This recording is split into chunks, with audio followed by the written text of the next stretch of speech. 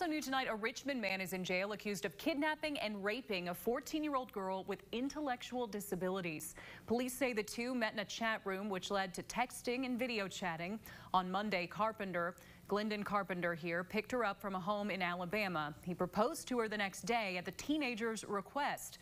Carpenter is in the Madison County Detention Center charged with kidnapping, rape, and sexual abuse. The victim was recovered and is now safe.